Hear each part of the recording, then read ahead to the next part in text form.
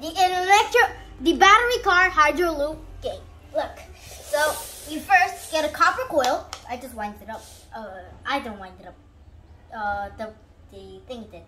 So, like you just need a copper wire,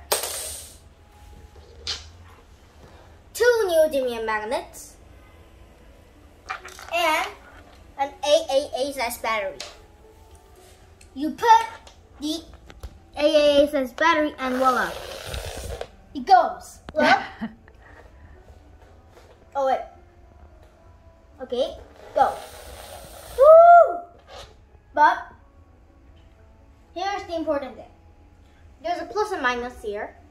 You always need to start with the minus. If you do the plus, it'll go backwards. See? Minus, it goes forward. Oh, and if you put it like this, it doesn't go.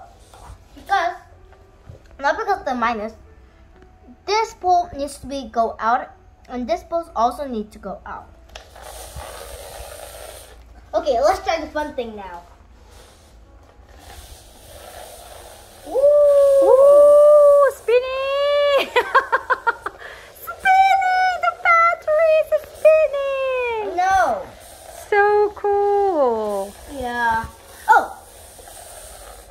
Let's we- try.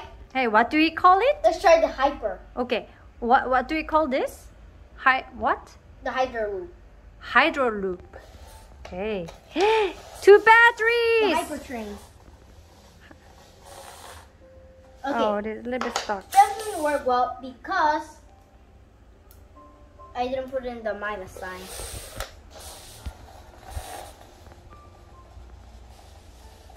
Huh? What happened? Okay, one last try. So now we're gonna put this magnet to the plus sign so it's like an ordinary magnet but bigger.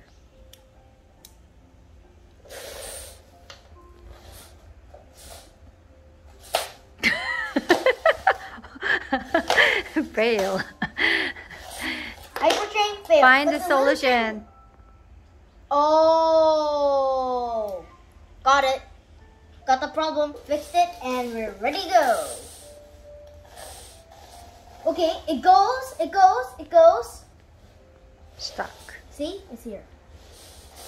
Oh, okay, it's going, it's going. Well done. Okay.